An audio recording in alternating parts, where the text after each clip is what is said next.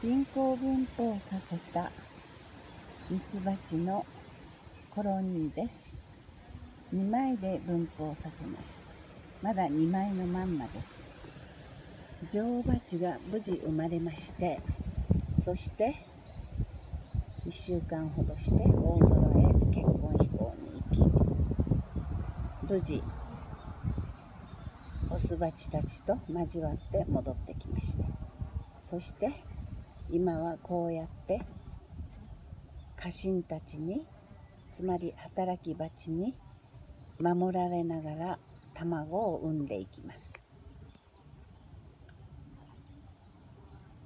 エンジンを組むようにして女王蜂を取り巻きますからこれをローヤルコートと呼んでいます。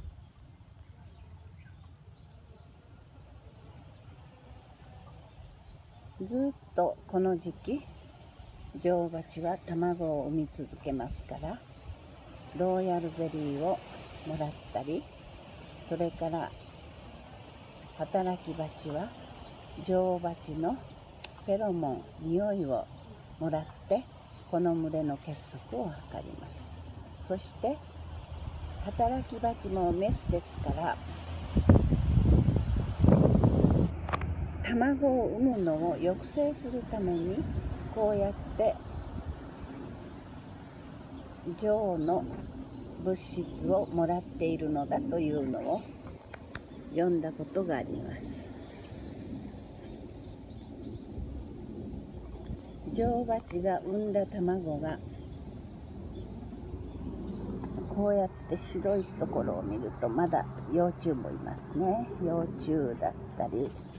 でこの蓋がけしてあるのはもうさなぎになっていますからやがて浮かして出てきます。この幼虫の世話をするのも働き蜂です。働き蜂は生まれた時すぐ自分の巣の掃除をしてそして周りにいる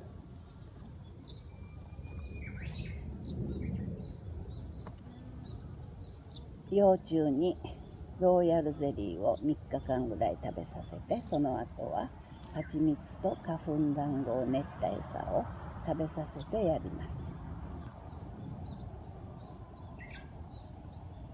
であとは今は暑いからいいんですけれども温度が足りない時にはここのさなぎ幼虫の上に乗ってお布団をかけたような状態を作ります。したがってびっしりとついているわけです。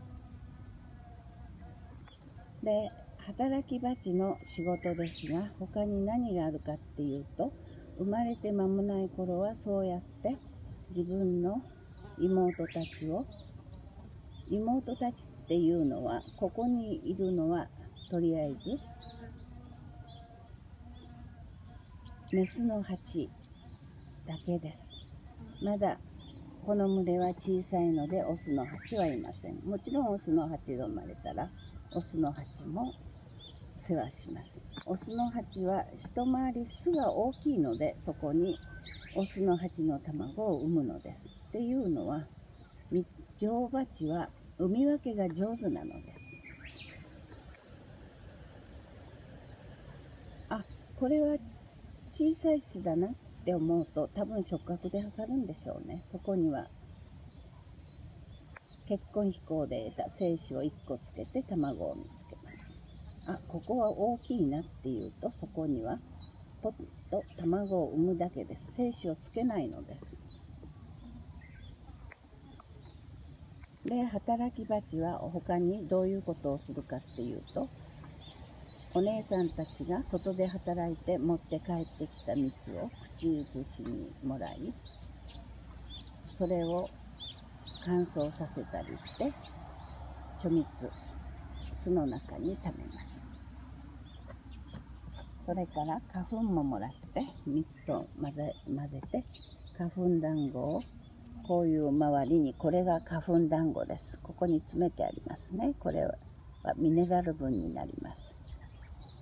それから巣が必要であれば自分からローを出して巣も作ります。そして暑くてたまらないなっていうような時には扇風機の役もします。羽を震わせて風を作るわけですね。もちろんものすごく暑い時には外から水を汲んできて打ち水をし気化熱で巣の中を涼しくするっていうのもやります。ところでこの女王蜂ですけど女王蜂の周りには働き蜂がこうやってエンジンを組むようにして取り巻いています。このことをローヤルコートと言います。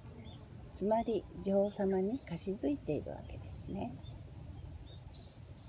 このローヤルコートをするのはまず女王蜂に餌を与えるのでしょう。餌っていうのはローヤルゼリーです。それからこの働き蜂たちは女王蜂からフェロモンをもらって巣の一致団結を図ります。外に行って帰ってくる時に多分匂いで自分の場所がはっきりとするのだと思います。もちろん自分の巣がどこにあるかっていうのは定位飛行時騒ぎなどでちゃんと調べたりはしてますがこのフェロモンは大きな役目を担っているようです。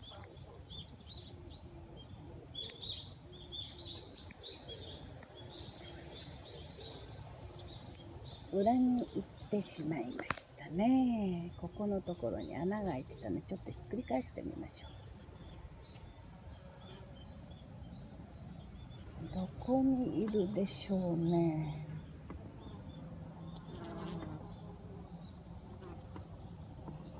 いませんね。こっちの方に移りましたかね。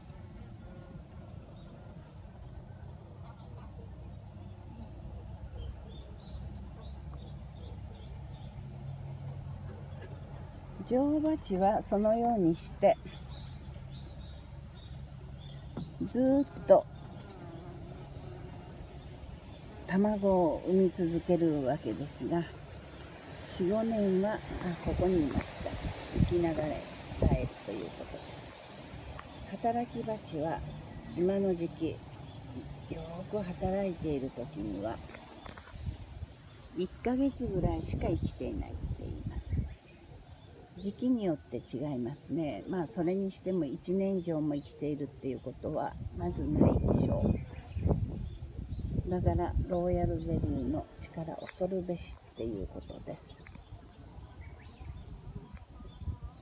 で働き蜂の仕事は他にも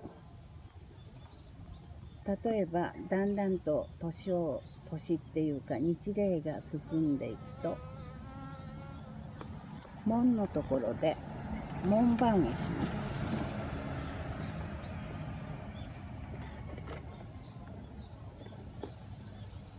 でやがて巣の中にある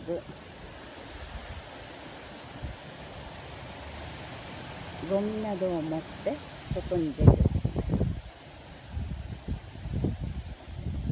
そしてだんだんと上手に飛べるようになると花蜜を集めて蜂蜜として持って帰ってきたり花粉を集めて持って帰ってきたり両方の場合もあります。それからプロポリスも集めてきます。そして必要に応じて水も汲んできます。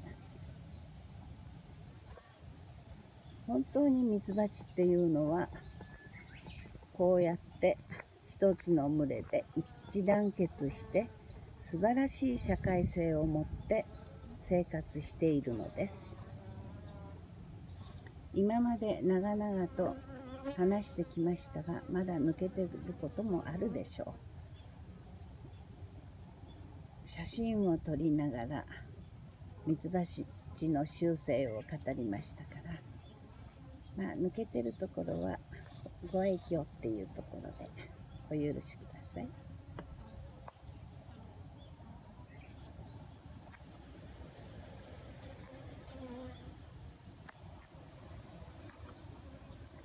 今はですね群れが小さいので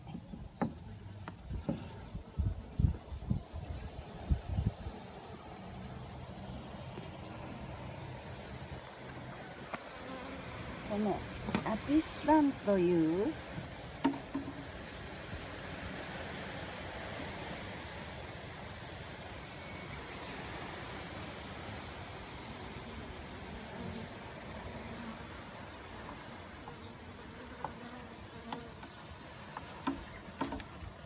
ダニ退治の薬を入れてやっています。これがそう。です。あちょっと下に落ちてしまいました。これがアピスタンです。大きな群れだとダニもつかないっていうか自分たちで退治してしまうんですが小さい群れではちょっと不安だったのでアピスタンを入れました。他の群れには今のところ入れてません。もう秋になって蜂蜜を取らなくなったら入れる予定です。